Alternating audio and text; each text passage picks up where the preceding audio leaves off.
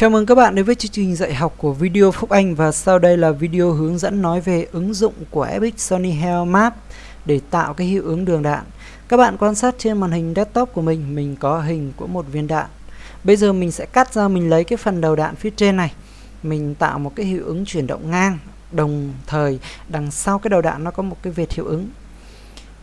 Đây mình sẽ cho các bạn xem cái mẫu này. Fly Đấy các bạn thấy là cái đầu đạn nó chuyển động ngang Đồng thời đằng sau nó có một cái vệt hiệu ứng Đấy. Thì bây giờ mình sẽ hướng dẫn cho các bạn cách làm cái hiệu ứng này Thì để tiện cho quá trình demo Mình đã chuẩn bị sẵn một cái văn bản quy trình demo ở đây Đấy. Muốn làm được hiệu ứng trên thì đầu tiên các bạn phải chèn uh, chèn một cái đầu đạn dạng ảnh PNG vào Vegas cộng với chèn thêm một cái hình nền bên dưới đầu đạn để chúng ta dễ dàng quan sát hiệu ứng. Để có được một cái đầu đạn PNG chúng ta sẽ lên mạng bằng cách là vào trình duyệt web này. Các bạn vào google.com rồi các bạn gõ vào đây là đạn png các bạn nhớ là google.com này nhé rồi các bạn nhấn nút search. Các bạn chọn tiếp vào nút hình ảnh. Rồi ở đây thì chúng ta có rất là nhiều mẫu, cả đạn lẫn lựu đạn. Chúng ta sẽ chọn vào viên đạn này. Đấy. nhấp vào phần xem hình ảnh, chuột phải và mình nhấn lưu hình ảnh. Rồi chọn ra desktop, ghi là đầu đạn. Rồi sell ok, thì đây, sau khi mà mình đao về, mình có một cái ờ, hình đầu đạn như thế này. Đấy. Bây giờ nhiệm vụ là chúng ta sẽ khởi động Vegas lên. Rồi mình sẽ chèn cái hình đầu đạn kia vào trong ờ, bàn làm việc. Chèn nó vào này. Tiếp tục các bạn nên chèn thêm một cái tấm nền để bên dưới để chúng ta dễ dàng quan sát cái hiệu ứng thì đây mình sẽ vào phần thực tập mình vào phần hình. Mình chọn một cái hình nền mình kéo vào Vegas luôn. Đặt bên dưới viên đạn đấy các bạn. Đấy. rồi mình sẽ làm full màn hình. Chuột phải properties maintain aspect ratio ok. Bước tiếp theo. Đó là chúng ta sẽ điều chỉnh hướng và kích thước đầu đạn bằng even pen và crop. Đấy. thì ở đây bởi vì là mình uh, có cả nguyên cái viên đạn nên mình sẽ phải cắt ra cái đầu đạn trước đã. Thì mình sẽ vào even pen và crop này. Đấy. mình sẽ tích vào mát. Rồi các bạn phải nhớ kéo con keyframe đầu tiên xuống dưới kim thời gian hoặc đặt kim thời gian vào cái con keyframe đầu tiên nhé. À, các bạn nên bật cái tính năng xuyên cursor để mình dễ dàng quan sát. Rồi bây giờ mình tích vào cái biểu tượng này. Đấy. mình à, khoanh vùng cái đầu đạn thôi. Đấy, các bạn nhìn thấy bên trên này mình chỉ còn cái đầu đạn Đấy. Tiếp theo chúng ta sẽ điều chỉnh hướng và vị trí bằng cách nhấp vào phần Position Cầm con keyframe đầu tiên có phần Position đặt dưới kim thời gian Đấy. Rồi bây giờ mình nhấp vào dòng Reset chọn tỷ lệ đó là 16 chia 9 này Đấy.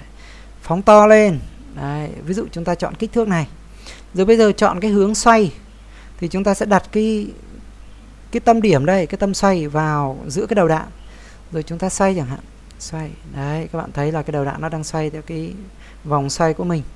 Như này. Ok bây giờ chúng ta tắt cái bảng này đi. Công việc tiếp theo là gì?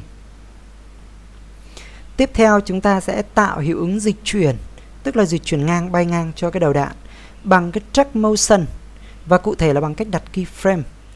Có nghĩa là như thế này các bạn sẽ nhấp vào biểu tượng track motion ở cái track chứa cái đầu đạn. Đấy, nhấp vào đây ở đây thì nó hơi to mình sẽ kéo nhỏ lại nhá. Mình sẽ tạo cái hiệu ứng dịch chuyển từ bên trái sang bên phải cho cái đầu đạn bằng cách là nhấp vào con keyframe đầu tiên. Đấy. nhấp vào con keyframe đầu tiên. Sau đó mình sẽ cầm cái khung này này mình kéo nó sang bên trái. Đấy, cầm kéo nó sang bên trái. Đấy. Rồi sau đó mình kéo kim thời gian đến cái thời điểm ví dụ như là 4 giây. Ở đây các bạn có thể lăn to ra các bạn thấy là đây là 4 giây này. Đấy. mình sẽ cầm vào cái khung này mình kéo nó sang phải. Đấy rồi thì bây giờ mình uh, quét cái kim này cho các bạn xem nhé. Thì để quan sát được cái hiệu ứng xảy ra theo thời gian thực các bạn phải nhấp vào tính năng sin Cursor. Đấy. Thì khi mình quét cái kim ở đây thì mình mới thấy cái viên đạn nó chuyển động bên trên này.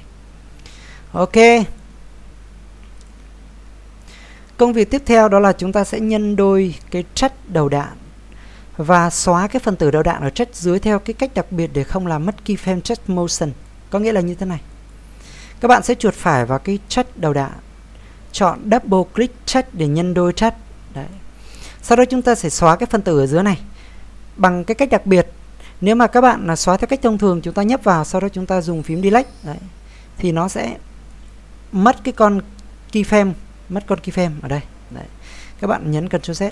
Mà các bạn phải xóa theo cách sau đó là chúng ta sẽ đưa chuột ra cạnh phải cạnh trái này. Mình kéo vào đưa chuột ra cạnh phải kéo vào nhấp vào nó rồi mới xóa. Đấy, để cho nó không làm ảnh hưởng đến các con keyframe này. Đấy.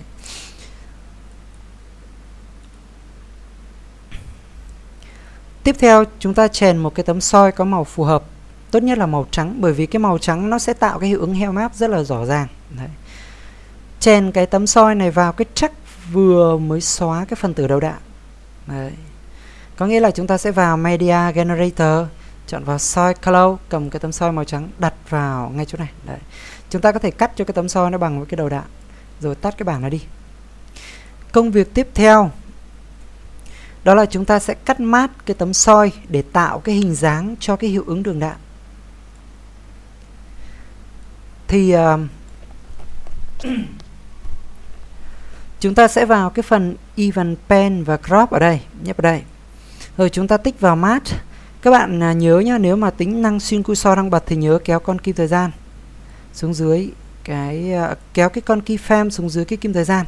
Và tốt nhất nên kéo cái kim thời gian ra giữa để chúng ta quan sát được cả cái đầu đạn lẫn cái phần mà chúng ta sẽ tạo mắc ở đây. Và bây giờ mình sẽ sử dụng cái bút mình chấm các điểm mắc. Ví dụ mình uh, sẽ tạo một cái hình dạng thế này.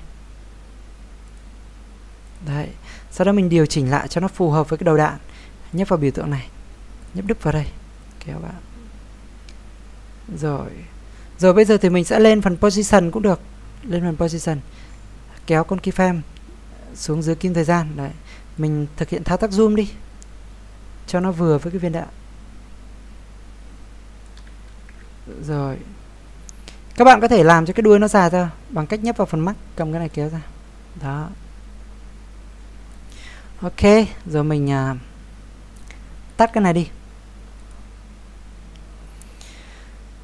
Sau khi mà dịch chuyển cái vị trí tấm soi phù hợp với phần đầu đạn thì chúng ta sẽ uh, chọn cái chế độ đó là Custom Compositor Sony hay Map Add OK. Đấy, rồi tiến hành điều chỉnh như sau. Thì bây giờ uh, sau khi mà điều chỉnh xong thì chúng ta nhấp vào cái biểu tượng alpha đây, đấy, Composite Mode, chọn cái Custom, đấy, nhấp vào cái Compositor đây các bạn chọn vào Sony hay Map ở đây. Sau đó các bạn nhấn Add. Rồi các bạn nhấn OK. Thì à, lập tức các bạn nhìn thấy chúng ta có một cái hiệu ứng ở đây. Đấy, mình play cho các bạn xem thử này. Đấy. thì tất nhiên là cái hiệu ứng nó nhìn hơi gớm. Bây giờ chúng ta phải tiến hành điều chỉnh. Rồi thì cách điều chỉnh như sau. Ở cái mục mà FG Pixel Handling thì các bạn chọn cho mình cái dòng đó là Grab Pixel Around tức là ở cái cái mục này này đó chúng ta nhấp vào biểu tượng tam giác chúng ta chọn vào wrap pixel around thì cái mục đích của cái việc này là để loại bỏ cái hiệu ứng màu đen. Khi mà đối tượng à, à, tạo hiệu ứng gần thoát ra khỏi cái màn hình. À, nói chung là các bạn cứ làm theo mình đi rồi một lát là các bạn sẽ hiểu. Rồi tiếp theo chúng ta sẽ điều chỉnh các cái thông số ở mục đó là output uh, elevation high scale cho nó phù hợp. Đấy. Rồi uh, thì bây giờ các bạn sẽ nhấp kim thời gian vào giữa. Đây mình sẽ kéo cái này ra. Nhấp kim thời gian vào giữa đây để chúng ta điều chỉnh nhé Thì ở cái phần hairstyle này các bạn có thể điều chỉnh. Đấy, điều chỉnh làm sao cho nó phù hợp. Rồi cái phần output này cũng điều chỉnh cho nó phù hợp. Đấy, giảm nó xuống một chút xíu. Rồi ok, như này là ok rồi đấy. Fly thử xem nào. Rồi ở đây thì à, cái Vegas nó bị tắt mình sẽ khởi động lại.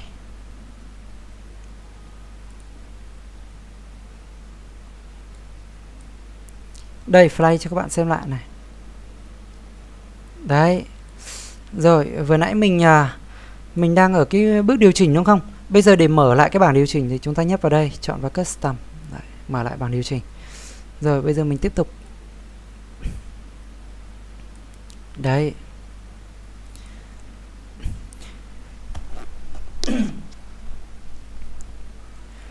Ngoài ra thì uh, chúng ta có các cái chế độ uh, ngoài ra thì chúng ta có thể chọn các cái chế độ sóng bằng cách là uh, tích vào các cái dòng bên dưới của cái dòng sọc channel.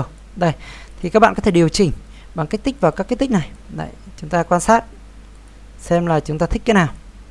Đấy. có một uh, sự thay đổi. Bình thường thì mình uh, mình cứ để nguyên để nguyên là được rồi. Rồi để tạo cái hiệu ứng mà thay đổi uh, theo thời gian thực ấy, thì chúng ta nhấp vào cái nút animate và tiến hành đặt keyframe. Đấy.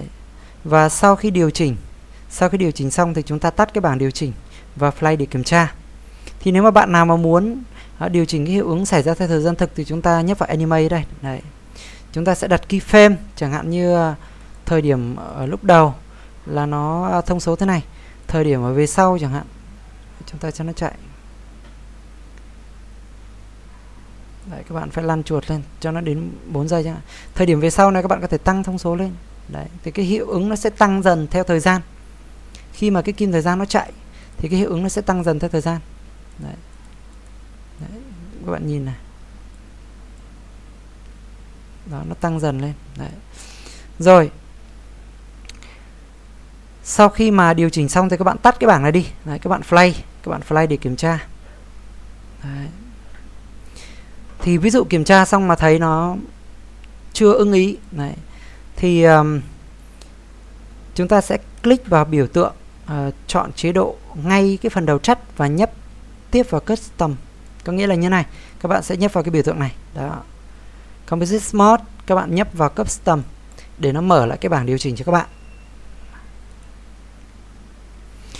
Nếu muốn hủy hiệu ứng thì uh, ta có thể chọn lại cái chế độ alpha cho cái chất hoặc là xóa cái chất này đi. Rồi nếu mà muốn hủy cái hiệu ứng này đi thì uh, các bạn cũng có thể hủy theo cách này. Đó một là hủy theo cách này. Hai là các bạn nhấp vào đây các bạn chọn lại alpha. Đấy cũng được. Cái thứ ba là các bạn có thể xóa bỏ cái chất này đi. Xóa bỏ cái chất này đi. Chuột phải chọn delete chất. Đấy. rồi ở đây có một cái phần lưu ý đó là cái trường hợp mà ta muốn tạo cái hiệu ứng uh, cho cảnh viên đạn có sẵn thì chúng ta sẽ tạo ra một cái tấm soi phù hợp sau đó chúng ta sẽ tạo uh, hiệu ứng dịch chuyển phù hợp cho cái tấm soi Đấy. cuối cùng ta cũng chọn cái chế độ cho chất uh, chứa tấm soi uh, là custom compositor rồi Sony hay map add ok và tiến hành điều chỉnh y như là ở trên này Đấy, rồi tiến hành điều chỉnh như thế này Đấy. rồi bây giờ mình sẽ nhấn Ctrl Z Ctrl Z fly lại cho các bạn xem nhé. Thì đấy ở đây cái hiệu ứng mình tạo nó hơi quá tay. À, tốt nhất là chúng ta nên uh, giảm nó đi một chút. Thì đây bởi vì cái bài demo nên là mình làm nó có một chút sơ suất. Rồi thì đó chính là cái bài uh, hướng dẫn về cái ứng dụng của Epic Sony hay Map để tạo cái hiệu ứng đường đạn. Thì đó cũng chỉ là một cái ứng dụng rất nhỏ của cái uh, hiệu ứng lớp Sony hay Map mà thôi. À, các bạn có thể nghiên cứu thêm những cái bài hướng dẫn khác trong cái bộ giáo trình của video Phúc Anh. Chào các bạn và hẹn gặp lại các bạn.